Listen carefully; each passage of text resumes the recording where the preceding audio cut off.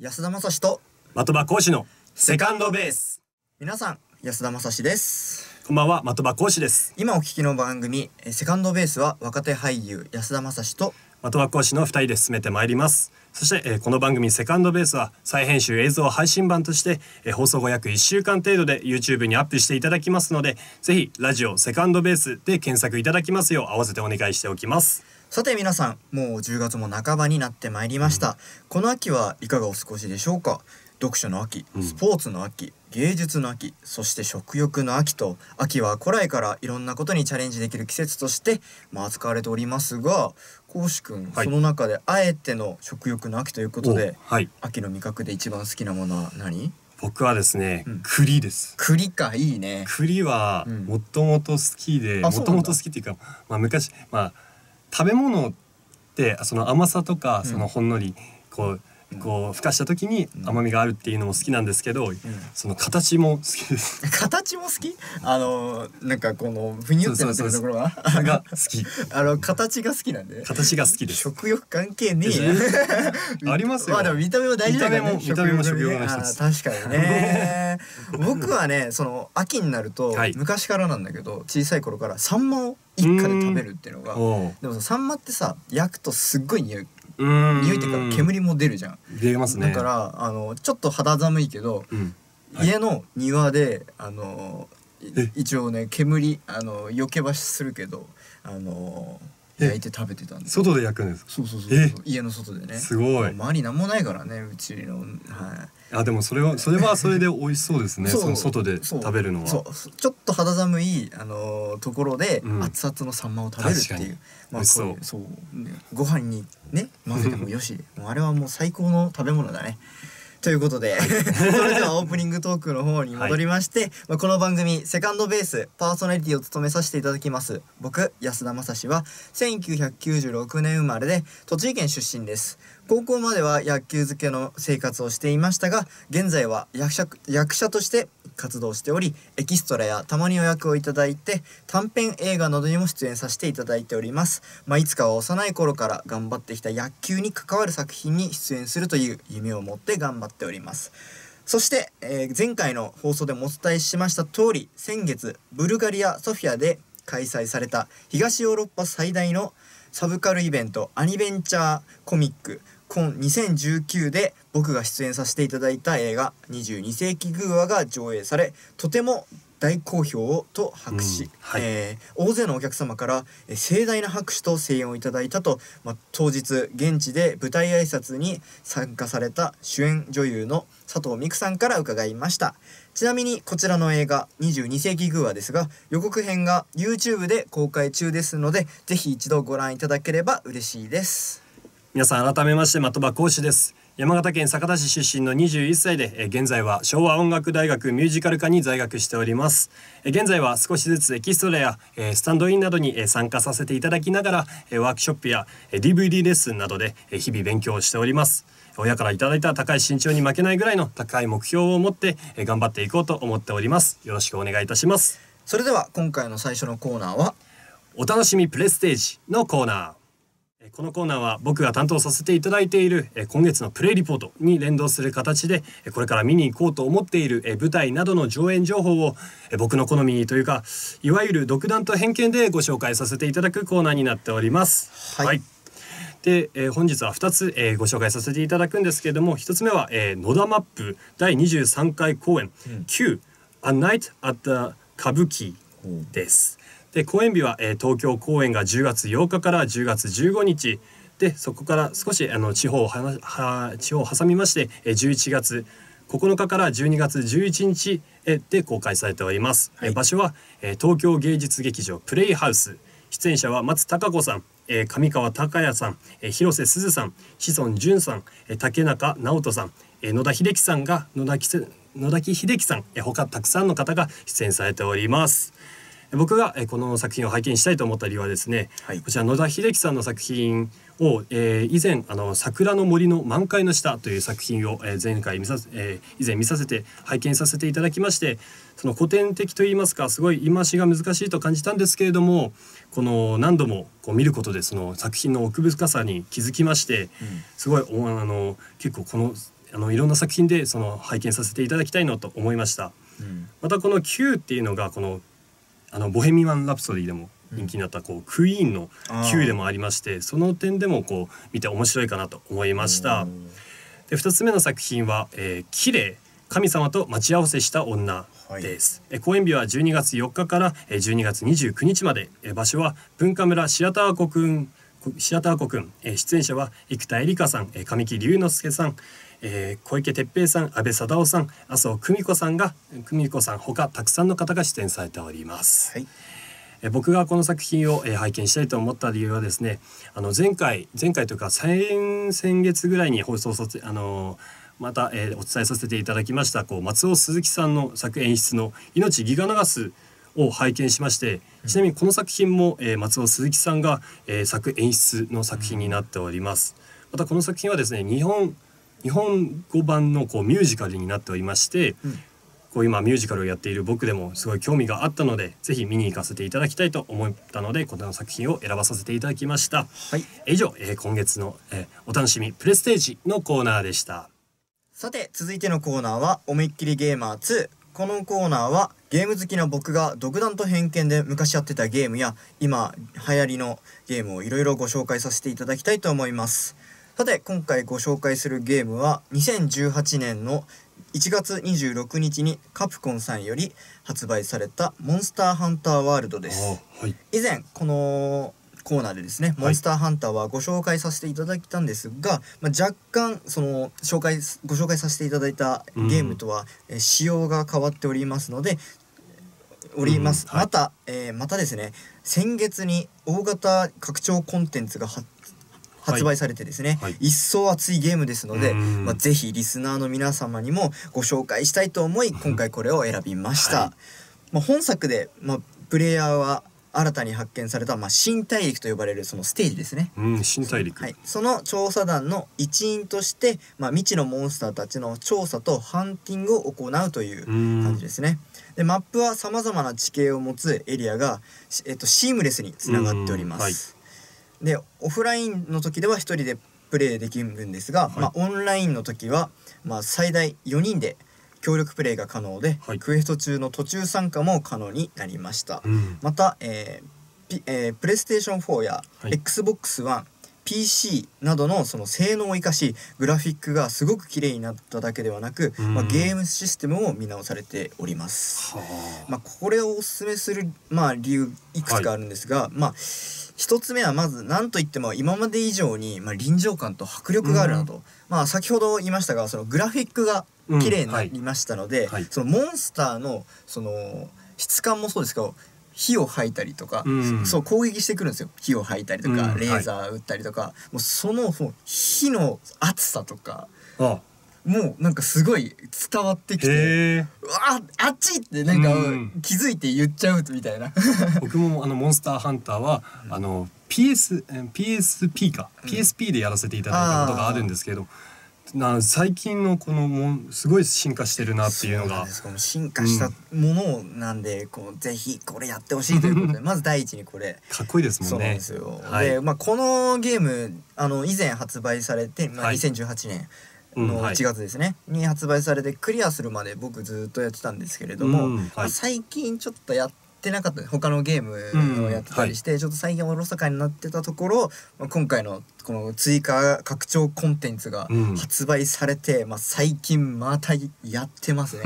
すごいです、本当に。だからそのより一層熱いゲームになってうん。本当に楽しいですね、まあ、あとさまざまなタイトル、まあ、これは以前モンスターハンターをご紹介させていただいたはい時にもそうなんですが、タイトルとのコラボもしておりますので、うん。まあ、それがゲームであったり映画だったりいろいろなタイトルのコラボもありますので、うん。まあ、はい。もしかしたらリスナーの皆さんでも、あこのタイトルとコラボしてるんだっていうのはあるかもしれないのでまあ、ぜひ一度やってほしいですね。そうですね。またこれははリサーチなんですけれども、はい。えっと、女優の本田翼さんもハマっているゲームの一つであり、まあ以前ですねあのユ YouTube の動画はいはい。で最近ハマってる映画なんあ動画なんですよっていうご紹介もしていたのでゲームなんだ。そうなんです、はい、なんでそのね、そういう本田翼さんとかその芸能人の方も結構ファンがいらっしゃるので、うん。まあ、ぜひ皆さんももしかしたら一緒にできるかもしれないですね。とね。いうことで、まあ、今回このゲームを紹介させていただいたんですけれどうも、んはい。あの PSP でやったことあるって言ったけど、うんはいゲームシステムはじゃあ分かってるそのモンスターをハンティングしてそうです。のモンスター。素材を集めて、うん。はい。その武器とか防具を作って作。ってそれが面白いところで、うん。だなっていうああなるほど。いいよ。全然そんなふわっとで。ふわっと大丈夫。はい。今回はうん。しかも、あの今まで、まあ、僕の知ってる中のモンスターハンターは武器を作る、えー強くなる、はいでまた違う強いモンスターを倒すみたいな感じのうんだったんだけど、はい。今今はなんかねすごいね個性的というかその自分の好きなようにその防具も色を変えたりとかそのアクセサリーって言われるそのうん。なんだチャームじゃないけどどそうつけたりとかできてその一人一人のハンターのそのなんだろう個性がすごい出てるんですよね。だからああの人のああのす例えばだけど本来は赤色の装備なのにわざと青くしてると、うん。あはえ映えるなみたいな。だったりとかそう。そうだからすごい、うん、やってて時間を忘れるゲームなんだよね。えじゃあ結構長い時間やるんですそうだね俺は全然もう3時間以上なんてザラだね。集中力が続けばだけどね。そうん。あとひうんそうだね。それだけこう熱中しちゃうゲームってことですね。そうそうそうそう。時間を忘れて本当にその自分がハンターになってその世界に入り込んでそのできるっていう中でそのうんなんだろうなそういうハンティングとかなんか難しそうだなって思うかもしれないんですけれども、うん。はい。全然もう簡単。うんだから誰でもその初心今回そのモンスターハンターシリーズやったことないんですよっていう人でもはい。全然入り込めるあの作品になっておりますので、まあ、ぜひですね皆さんこのゲーム、はい。モンスターハンターワールドちょっとプレイステーション4だったり XBOX ははい。また PC であできますけどちょっとまあお値段が張りかもしれないんですけれどもうん。ぜひやって多分後悔しないタイトルのまあ有名どころっていうのもあるので、はい。ぜひこれはやってほしいなっていうのを思いますのでですね。はい。こうしくん買ってくれないかな？媒体というかもソフトは買えますけど。そこ それ一緒に狩りやろうよって。一緒にやるものができないんですよね。ああそうなんだね。うんあでもあの今回そのネット環境って言われる、うん。そのオンライはい。ンがなくても全然オフラインで一人でもできるうん。ので、その一人そうお一人様？お一人様って言い方はちょっとどうかわかんないけど、その一人でも全然楽しめるゲームになっておりますのでぜひリスナーの皆さん買って、ね。一緒にあの一狩り行こうぜというこの決まり文句がモンスターハンターシリーズではあるんですけど、本当に一狩り行っていきましょうということで以上「そうです思いっきりゲーマー2」のコーナーでした。今お聞きの番組「セカンドベース」担当は若手俳優僕安田正史と同じく若手俳優の的場講師でお送りしております。さささて続いてのコーナーは「モッケダの山形」ということで、まあ、この「モッケダの」はこの、えー山形の方言で「ありがとう」ですね。という意味だそうで標準語に直すと「ありがとう山形」えー、こうしくんにふるさと山形の魅力を紹介していただくコーナーです。ではこうしくんお願いします。かしこまりました。では今回も、えーまず、えーご紹介させていただきますのはえー山形のソウルフード玉こんにゃくです、はいえーこんにゃくの、えー消費量日本一、えー年間のそうなんだ。1世帯あたりの日本一はですね実は山形市でしてうん。東京の実に2.4倍、はい。えー山形市の家庭ではえー年間約10キロの10キロのこんにゃくを食べます、はい。こんにゃく芋の産地ではない、えー山形が年間消費量トップを長年走り続けていますではなぜ、えー山形が、えーこんにゃくを食べる習慣が広まったのかと申しますと、えー山形の代表的な観光地山寺の存在がありました、はい。えー平安時代山寺立石寺を開いた、えー自覚大師自覚大使はですね、えー、縁人縁人和尚とも呼ばれますがが、えー都の、えー京の都から、えーこんにゃくを持ち帰り、えー周辺住民へ広めたと、えー地方では、えー伝伝承されております。はいそして、えー現在山形県内ではですねこう全国的に珍しいこんにゃく料理を、えー使ったこう専門店が複数あります。こう山形だと結構どこでもこう売っておりましてこう観光物産館はもちろんなんですけれどもこう地域のお祭りなどでもこう販売されております。大体ですねこう3個ぐらい3個のこう玉こんにゃくをこう串でまとめられていることが多いですね。で実際こう僕自身もこう玉こんにゃくを作ったこと作ったこう料理したことはないんですけれどもこう調べたところですところこう醤油とスルメから取った出汁と一緒に煮込むのが一般的だそうです。正直これを知った途端知ったらですねこう僕の家も僕の地元もそうなのかなと思いまして、うんぜひ次帰ったらこう作り方を見て教えてもらうと思いまし なた。はい。またこう山形に限らずですねこう玉こんにゃくがえー人気なのはですね人気なのはですねすみません、えーカロリーが少なく、えー油が使われていないため、うんヘルシーフードと考えられているからだそうです。便秘解消や美肌効果もあるそうです。と、えーここでいきなりですが山形名物実食編のコーナー。はいやはりこう説明ばかりしていてもこうリスナーの方だけでなく安田さんにもその美味しさ 魅力が伝わりきれてないなと感じましたので、はい。えー今回実食編といたしまして山形県のえー山形県民のえーソウルフード玉こんにゃくをご用意させていただきました。はいということで。こちらなんですけれどもこちら銀座にあるえー山形県のアンテナショップで買ってまいりました。ですいませんあの大変失礼かと申しますがこうあのライブ感をえー出すためにですね、はいこう番組プロデューサーさんから特別に許可をいただきましてえーこちらの山形名物たまちゃん一家という商品なんですけれどもこちらのたまちゃん一家を食べながらのえーご説明になることをご了承ください。はいこちらのたまちゃん一家はですね、こう有限会社菅野食品さんかが作られております。はいえー昆布昆布とカツオのダブルだし仕込みだそうです。はいで、えーたまちゃん一家だんあのタイトルというかこう題名といいますか 名ね。商品名もちろん大変あるんですけれどもこうすごいここにあのリスナーの方にはちょっとわからないかもしれないんですけれどもこちら表面というパッケージにですねこう一家の顔写真顔写真って顔のこうイラストが描いておりましてね。ものすごい可愛らしいそうだね。ちゃんと猫までいるからそうですね猫まであります。一番下まで猫までありますね。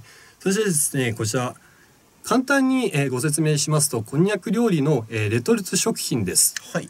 そして、えー、と本来こう山形ですとこう串を使って、えー3個ぐらいこう刺して、えー売られているのが一般的なんですけれどもこの商品はこうバラ売りされている商品でして、はい。えーバラ売りなのでこう緑光入りの、えー商品となっております。こちらもあのーえーえっと、えーラップをですねレンジレンジの、えーレンジ用にこうお皿に開けまして、はいえーラップをして、えー2分程度温めたらもっと美味しくなる。またはこう冷蔵庫で、えー冷たくしても、えーあより美味しくなるという商品になっております。はいですねこちら、えー税抜きで申し訳税抜きで、えー200円の商品となっております。はいぜひ、えーこではいただきたいと思います。はいはい。ということでではこちらにあるんですけどはいにちょっと用意してございます。はい。はいではちょっといただきたいと思います。あいただきまいすただきます。見た目はこんな感じですね見えますかね？見えないか。申し訳ないです。はい。ね見えちょっといただきます。いただきます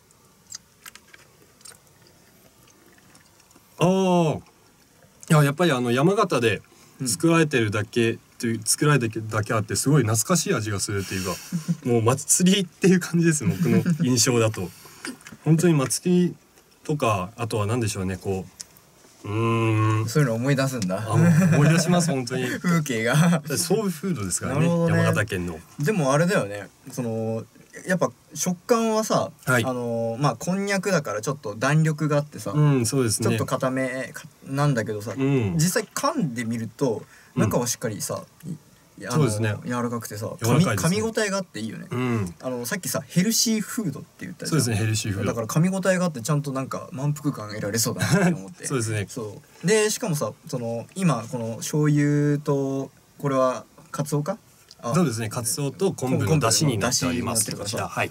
うん、だからその昆布とかその出汁のその香りがすごい鼻に抜けてうん。すごい美味しいね。しかもささっぱりしてんだよね。あ。食べた後に優しい味が最後あに残るみたいな。確かに優しいですね。しょっぱくはないんだけど、うん。その控えめみたいな。わかんない。けど、そうなんか優しい香りっていうのそうがそうそうそうそうすごいなんかこう田田舎というかこう、うん、なんかおばあちゃん家に行ったみたいな、うん。そのすげえ優しい味がする。あそれすごい。例えが例えがすごい。そう。はい。玉こんにゃくってさ、うん。その玉こんにゃく食べるぞと思ってさ食べたことないからさこうやってなんか実際にじゃあ玉こんにゃくだけを食べるぞってなったけど、結構美味しいね。結構美味しいですうん本当に。なん,、うん、なんかバクバク食べちゃいそうだはい。ね、そうですね。軽いもんね。あの味がっていうかその、そうですね。うん。結構量は。うん。量はでもたまりそうだからね。でもね。さっき言ったけどヘルシー料理だから女性の方とかにも結構いいんかもしれないよね。そうです。ぜひあのこの山形のね。ですねぜ本当に今回ですねこう安田さんに食べていただけてはい本当にこう嬉しいやいやいですね本当美味しかったですこちらも。ぜひこん今度はですねこう山形の街並みの中でこう召し上がっていただければと思いますじゃあぜひ食べていただきます。はいでは以上やもっけだの山形のコーナーでした皆さんもうエンディングの時間になってまいりました。今回の放送皆さんいかがだったでしょうか？皆様からのお便りお願いいたします、はいえメールアドレスは info アットマーク plus ハイフン vox ドット com え info アットマークプラスハイフンボックスドット com セカンドベースまでお待ちしております。お待ちしております。はい。それではえっ、と今回ですねい。セカンドベース、初めて僕食レポじゃないけどさその玉こんにゃくの時にやったけどさ。難しい。食レポって難しいね。難しいですね。初めてやったけどあのプロデューサーさんから、はい。一応ご指南いただいてはい。やったら、やったんだけど、はい。なかなかその食べたものをそのリスナーの皆様に伝えるうん。ってやっぱまあでも俺た僕たちってさ、はい。伝えるのが仕事じゃん、はい。そういう作品でも何でもそうだけどさ、まあラジオももう完全にもう伝えるそのカルチャーだけどさ、うんはい。やっぱ伝えるって難しいなって本当今日俺今回すごい思ったなすごいで僕も紹介するのも難しいなって思っあー確かにね。そう、うん、でいろんなうん、でさ玉こんにゃく。はい、めちゃくちゃ美味しかったからさ、はい。さあれ山形のその特産品じゃないけどそういうでしょ？はい。でしょ？だからさ、はその美味しかったからはい、これからもあの山形のさその食べ物コーナー的なものをさ、ちょっとあやらない？ぜひぜひぜひぜひやらせていただきたいと思います。すげえまあ毎回この実食編とはいかないかもしれないんですけれどもねいろんなものをこう紹介していけたらなと思います。そうはいちゃんとねちゃん。とね、リサーチして。そうですね。いろいろ調べて。調べてあのねはい伝えるのが仕事だから、はい。誤ったことは言わないね。はい。申し訳ないです。本当に美はい味しかったから、はい。ちょっとこれからもね山形のその食べ物っていうのは全然僕本当にわからないから、はい。ぜひちょっと楽しみにしてまだまだあります。そしてさ、はい。あの続いて一つ質問し公式にしたいんだけど、プレイリポートさやはい。ってるじゃん、はい。毎回。あれさ実のところ言ってる？っていう俺のこの不安じゃないけどさ疑惑をちょっと疑念があるんだけど、大丈夫？大丈夫ですよ。行かせていただいております。あ拝見今回してる？はいはい拝見させていただいております。はい。これからもちゃんと予定があるので見に行かせていただく予定があるのでーぜひそれはまた後日後日。伝えさせていただきたいと思います。日ね、はい。次の収録か次の次かわかんないけど。うん。でも近いうちに。近いうちにね、はい、じゃあちゃんとそのプレイリポートで紹介したものは言っていると、言っております。自信を持って。ああ大よかったよかった。ということでリスナーの皆様、はい。ちゃんと公式も言っておりますので、うん。はい。ちこいつ言ってんのかなって思われた方は、はい、この彼の純朴そうなこの 純朴そうかわかんないけど、はい。このあの素直なんでねうん公式君多分嘘つけないよね。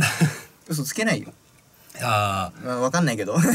ちゃんとちゃんと言ってますっていうことをちゃんと確認取れたので、ーはい。じゃあぜひあのこれからもね、うん。まあ、今まで通りに、はい。あのプレイリポートをあの独断と偏見でやってるらしいけど、まあはい。俺もね似たように、ね、ゲームもね独断と偏見でやっちゃってるからね、はい。あれだけどねぜひ自分の行きたいじゃないけど紹介したいものがあれば、はい。リフナリスナーさんの皆さんに紹介して、ね。はい。プレイリポートをやってください。はいわかりました。こんな感じで大丈夫ですか？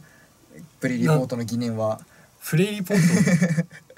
お楽しみプレステージの方ですか？あそうだそうお楽しみプレステージお楽しみプレステージの方はそうです。これからも楽しみそれがそうだね、はい。あすいません。プレステージの方でしたね。行かせていただきたいと思います。プレイリポートはねちゃんと言ってるからね、うん。言えるもんねそらそう。それはもう。ごめんそうだそうだ。全然言ってないで言ってたらやべえわ。確かに。想像で。確かにね。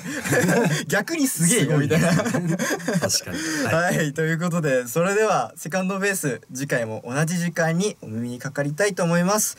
番組パーソナリティは僕安田正史と。的場講師でした。皆さん最後までお聞きいただき本当にありがとうございました。